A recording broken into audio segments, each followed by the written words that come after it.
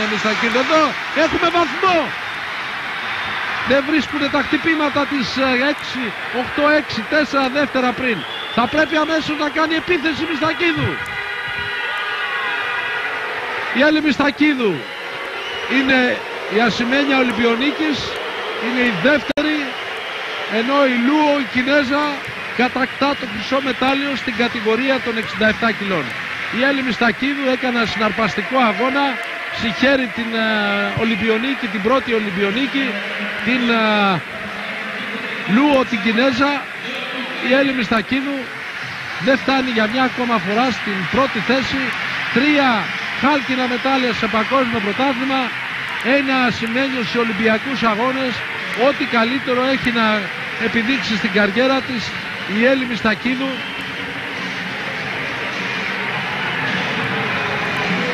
η Ελληνίδα Ολυμπιονίκης και εδώ η Λούο τώρα η Μιστακίδου με την ελληνική σημαία και τον Όγιαν Τσου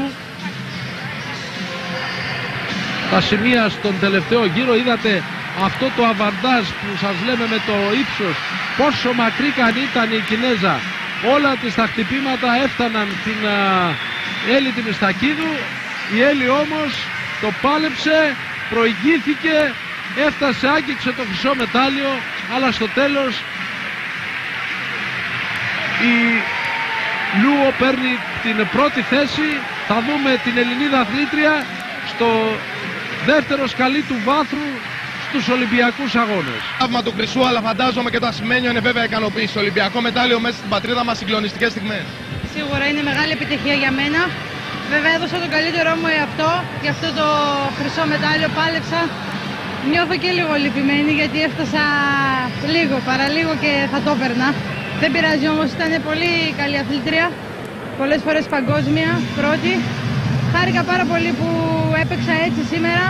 Η εμφάνισή μου ήταν πιστεύω καταπληκτική. Δεν αισθάνθηκα ποτέ ξανά τόσο καλή, καλά.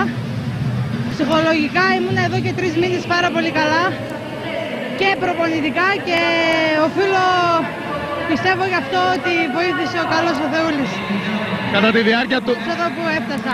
Κατά τη διάρκεια του αγώνα πίστευα πως σε λίγα λεπτά θα γινόμουν χρυσή Ολυμπιονίκης. Βέβαια χωρίς να υποτιμάμε το δεύτερο είναι πάρα πολύ καλή, καλή επιτυχία. Είμαι λίγο στεναχωρημένη γιατί ήθελα λίγο, λίγο. Αλλά πάλεψα πολύ πιστεύω. Έπιασα ένα 90%. Μπορούσα να ξεπεράσω και τον εαυτό μου, να πιάσω πάνω από 100%. Αλλά εντάξει, είμαι ευχαριστημένη πολύ. Ο κόσμος πόσο σε βοήθησε, ήταν συγκλονιστικό. Πολύ ο κόσμος. Είχα πει λίγους μήνες πριν να έρθω να αγωνιστώ σε αυτήν την Ολυμπιάδα ότι η Κερκίδα με το πάρει. Και αυτό έγινε σήμερα.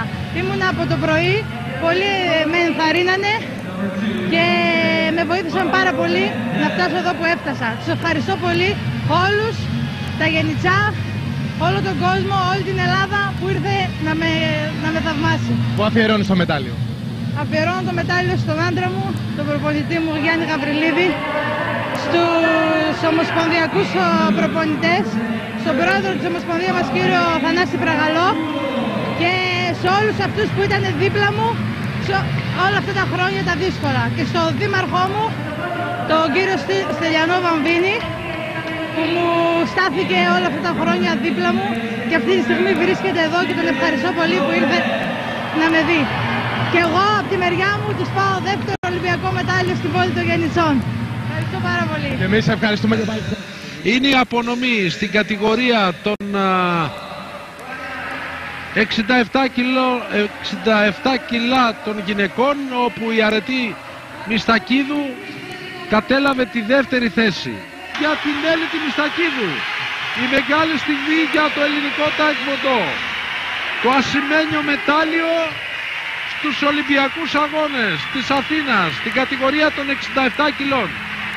Αυτή η κοπέλα από τα Γιάννητσά με τόσα μετάλλια, με τόσες διακρίσεις έρχεται στους Ολυμπιακούς Αγώνες της Αθήνας και παίρνει το ασημένιο μετάλλιο.